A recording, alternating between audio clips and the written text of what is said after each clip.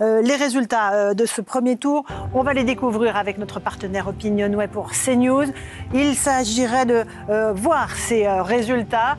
On a évidemment ce chiffre de l'abstention, 26,5% pour l'abstention importante. Est-ce qu'elle va impacter le scrutin, favoriser tel ou tel candidat, favoriser encore une fois les alliances entre chaque camp, la droite, la gauche, si elles existent encore. Et puis il y a évidemment Emmanuel Macron qui, au milieu de tout ça, euh, a jonglé entre sa présidence et sa candidature.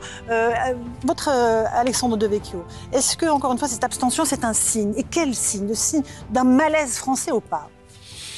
C'est signe, il y a un malaise français, il y a le sentiment que le- les politiques ne peuvent, sont impuissants, donc il y a une partie des gens qui disent mieux vaut ne pas vo- voter. Maintenant, il faudra voir quelle est la nature de cette abstention qui est quand même moins forte que Bien prévu. sûr. Alors, on a quelques résultats. Emmanuel Macron, 29%, Marine Le Pen, 24%, euh, selon notre partenaire Opinionway. C'est un écart euh, qui est euh, assez euh, important. Euh, Louis de Ragnel, euh, on s'attendait à ce qu'il y ait un tel écart entre les deux candidats. On pensait que le, le Eh bien, duel non. pourrait être un peu plus resserré. On aura les, les résultats ensuite pour tous les Eh autres bien non, candidats. puisque en fin de semaine dernière, on s'attendait à un point, un point et demi d'écart, euh, grand maximum. Il y avait même des, des instituts qui donnaient euh, un écart beaucoup plus faible entre Emmanuel Macron et Marine Le Pen.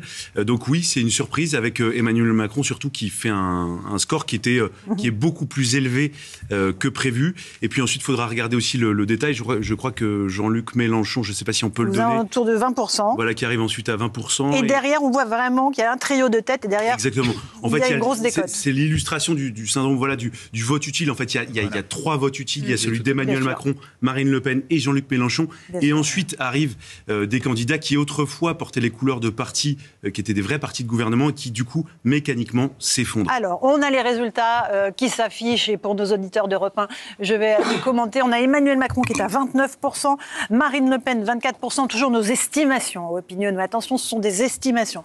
Jean-Luc Mélenchon à 20, euh, Éric Zemmour à 7, Yannick Jadot 5, Valérie Pécresse 4,7, Fabien Roussel 2,3, Jean Lassalle 2, Anne Hidalgo 1,9, Nicolas Dupont-Aignan 1,7, euh, Philippe Poutou 0,7, Nathalie Arthaud 0,4. Je n'ai pas mes lunettes, donc je ne vois pas exactement. Vous me corrigez si je me trompe. C'est à peu près ça. euh, Oui. oui. Nathalie 0,5 Nathalie 0,5 Arthaud, pour Nathalie Arthaud. 1 pour euh, Monsieur Poutou. Poutou. Voilà. Anne Hidalgo qui termine derrière Fabien Roussel euh, et Jean Lassalle qui fait aussi bien que, que Fabien Roussel. Valérie première fois que le Parti communiste arrive devant le Parti socialiste. on va aller partir euh, tout de suite dans les, dans les QG dans un instant.